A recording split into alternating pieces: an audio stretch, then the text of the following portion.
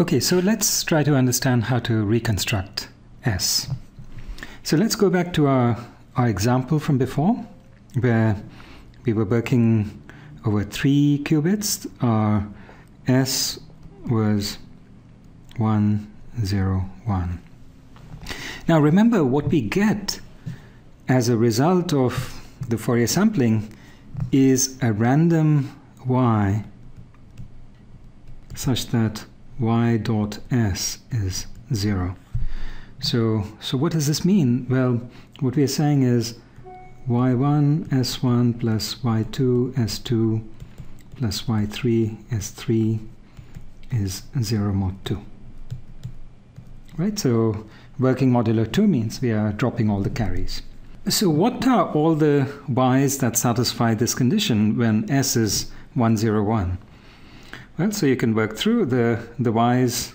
So we are picking, if s is this, then y must be either 0, 0, 0, or 0, 1, 0, or 1, 0, 1, or 1, 1, 1. Because, for example, if y was, if I was 1, 0, 0, then y1, s1 would be 1 and the other two would be 0, so the sum mod 2 would be, would be 1.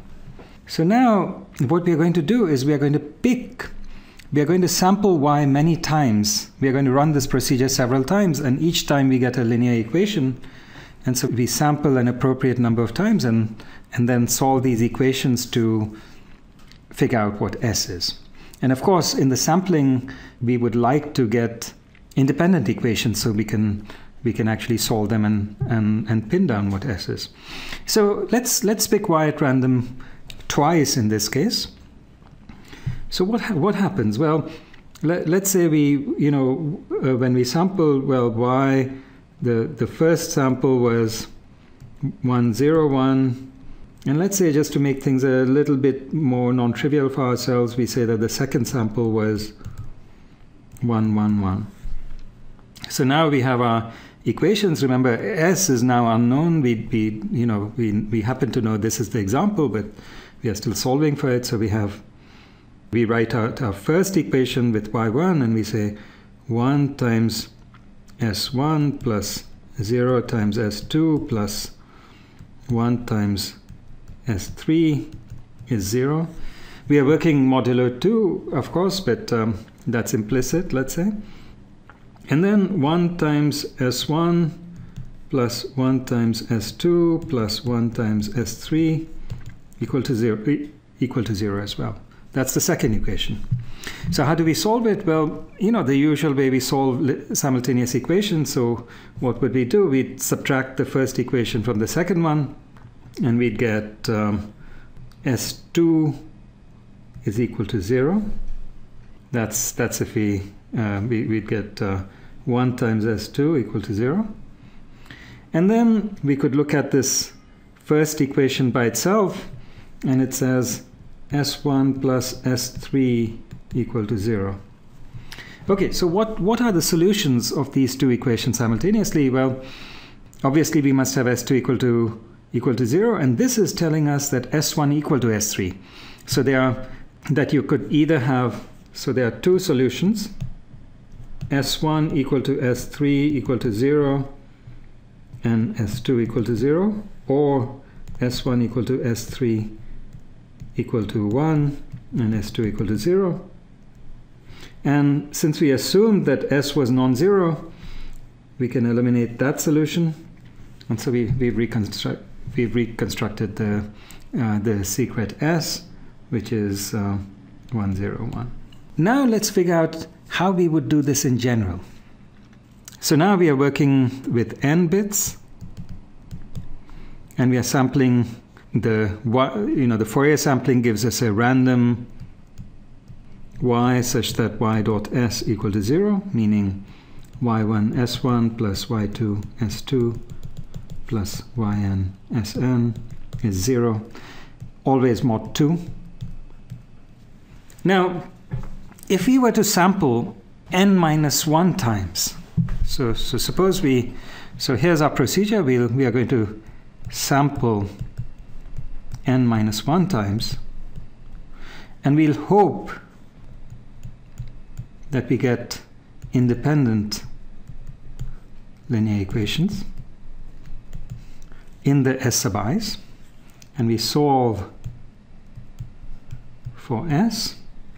Now we have n unknowns and n minus 1 equations so and and we are working mod 2 so so we'll get two solutions. Now one solution we'll always get is s equal to 0 and this we want to, to discard, s equal to all zeros, n zeros. This we want to discard because we know s is non-zero. So we'll take the other solution. Okay, so let's figure out the probability that this algorithm succeeds. So this is the probability that when we sample n minus 1 times, then we get independent linear equations. So let's do this one at a time. So, so let's, let's see. So we sample our first y. And then what are the ways of failing? Well, the only way we could fail is if we get the all zero string, in which case, you know, it's a trivial equation. So what's the probability of fail? Or probability of uh, failure? Well, Remember y was picked uniformly random from 2 to the n minus 1 different strings. And so this probability of failure is 1 over 2 to the n minus 1.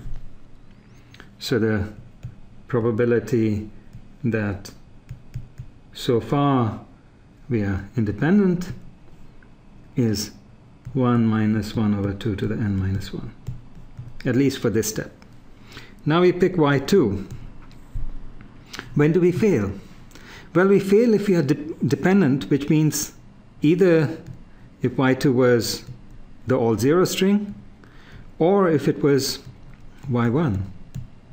So there are two ways of failing. The probability of failure is 2 divided by 2 to the n minus 1. Probability we are still independent is we you know is 1 minus 1 over 2 to the n minus 2.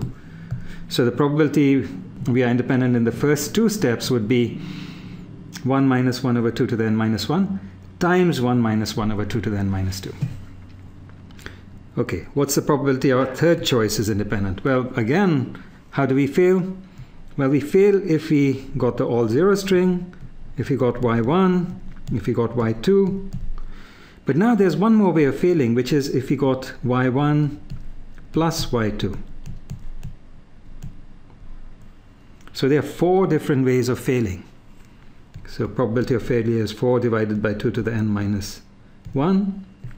And so the probability our third choice is independent, given that the first two were, is 1 minus 1 over 2 to the n minus 3. So we just keep going like this. What's the chance that our n minus first choice is independent? Well, how do we fail? We fail if we have 0, y1, y2, etc. all the way through all the possible sums, you know, y1 plus y2, y1 plus y2 plus y3, all possible such sums. So how many, how many such, what's the cardinality of this set? Well, it's exactly 2 to the n minus 2. So it's all possible subsets of the first n minus 2 elements. So there are 2 to the n minus 2 of them. So the probability of failure is 2 to the n minus 2 divided by 2 to the n minus 1, which is a half. So the probability independent is 1 minus 1 over 2, which is a half. And so what's the probability we all our steps are independent, that we that we pick a completely independent sample? Well, it's, it's the product of all these. So it's 1 over 2 times 3 over 4 times 7 over 8 times so on, all the way up to the last term is 1 minus 1 over 2 to the n minus 1. Okay, so what's this? What's this product turn out to be? Well, you can it, you can actually figure it out in closed form. Mathematicians have, and it's something like 0.28878 dot dot dot. Something called a Q series. It's too complicated for us to go into.